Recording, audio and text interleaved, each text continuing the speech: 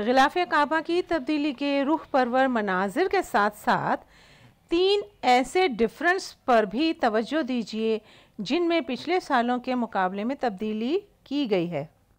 माजी और हाल की गिलाफ काबा की तब्दीली की तकरीब की इन वीडियो को गौर से देखें और कमेंट्स में ज़रूर बताइए कि और किस किस ने ये तीन पॉइंट नोट्स किए जिनका ज़िक्र मैं वीडियो के एंड में करूँगी। और अगर मैं गलती पर हूँ तो कमेंट्स में मेरी असलाह भी की जा सकती है। आइए बिना वक्त ज़ाया किए वीडियो की तरफ़। बिसमीम असलकुम कसवा फैक्ट्री से गलाफ काबा को खसूसी ट्रक के ज़रिए मस्जिदुल हराम पहुँचाया जाता है। गलाफ काबा को मस्जिदुल हराम के बैरूनी दरवाज़े से मखसूस रास्तों से गुज़रते हुए मताफ़ तक पहुँचाया जाता है।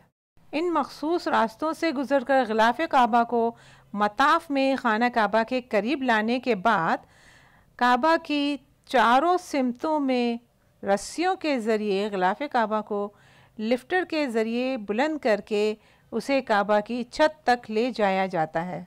जबकि पुराने गिलाफ को नए गलाफ के पीछे से नीचे की तरफ़ धकेला जाता है। इस मकसद के लिए पुराने गिलाफ की रस्सियों को ढीला छोड़कर बिलाखिर नीचे गिरा दी जाती हैं। इस तरह पुराना गिलाफ नीचे आ जाता है, जिसकी जगह नए गिलाफ ने ले ली होती है। इदारा अमूर हरमन शरीफन की जानब से गिलाफ काबा की तब्दीली में हिस्सा लेने वाले अफराद को बाकायदा फ़नी तरबियत भी फराम की जाती है, जिनमें गिलाफ काबा तैयार करने वाली फैक्ट्री के इंजीनियर और फ़नी शोबे के माहरीन शामिल हैं। वाज रहे गिलाफ काबा की तब्दीली के दौरान हर एक हिस्से को अलहदा अलहदा खान काबा की छत तक पहुँचाया जाता है और उस हिस्से के पिछले गिलाफ को हटा दिया जाता है और ये अमल चारों दीवारों के लिए चार बार दोहराया जाता है, जिसके बाद इन चारों हिस्सों को जोड़ा जाता है। गिलाफ काबा की तैयारी के लिए लगभग 670 किलोग्राम रेशम को स्याह रंग में रंगा जाता है। कस्वा काबा को कुरानी आयत से सजाया जाता है, जिन्हें सोने और चांदी के धागों से बुना जाता है। इस अमल में 120 किलोग्राम सोना और 100 किलोग्राम चांदी इस्तेमाल होती है।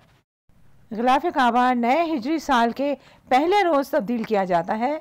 इससे कबल कई दिहाइयों से गिलाफ काबा हर साल हज के दौरान नौ जिलहज की सुबह को हजाज के मैदान अरफात रवाना होने के बाद तब्दील किया जाता था। जबकि गुज्त साल से ये सालाना तकरीब यकम मुहर्रम को मनद हो रही है। वो तीन पॉइंट्स जिनमें गुज्त सालों के मुकाबले में तब्दीली नोट की गई वो ये हैं। नंबर एक, पिछले सालों में नए गिलाफ को पहले पूरे का पूरा ऊपर काबा की छत तक रस्सियों के ज़रिए पहुँचाया जाता था, फिर ऊपर से नीचे की तरफ़ खोला जाता था, मगर अब नीचे से खुलते हुए ऊपर रस्सियों के ज़रिए उठाया जाता है। नंबर दो, पहले की जो वीडियो है, उसमें गिलाफ का साइज़ छोटा लग रहा है।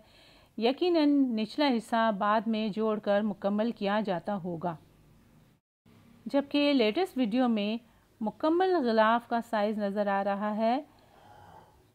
यकीनन यही वजह होगी कि अब इसका वज़न भी बढ़ गया होगा, जिसकी वजह से ऊपर चढ़ा के फिर नीचे उतारना मुश्किल होगा और नीचे से आहिस्ता आहिस्ता खुलते हुए ऊपर जाना ज़्यादा बेहतर होगा। तीसरी और इंतहाई अहम बात, हर साल जब हाजी मैदान अरफात में हज के अरकान अदा कर रहे होते थे, तब हरम में गलाफ काबा की तब्दीली की जाती थी। मगर अब पिछले साल से ये रस्म यकुम मुहर्रम को की जा रही है। इस तरह हाजियों के लिए ये मुमकिन है कि वो इन रूह परवर मनाजिर को अपनी निगाहों में समा सकें। अल्लाह का लाख लाख शुक्र है और एहसान है कि अल्लाह ताला ने हमारी फैमिली को भी उम्र की तकमील के दौरान इन मनाजिर से अपनी रूह को तस्कीन पहुँचाने का मौका दिया। वीडियो पसंद आए तो दुआओं में ज़रूर याद रखिएगा। वीडियो देखने का बहुत बहुत शुक्रिया। जजाकल्ला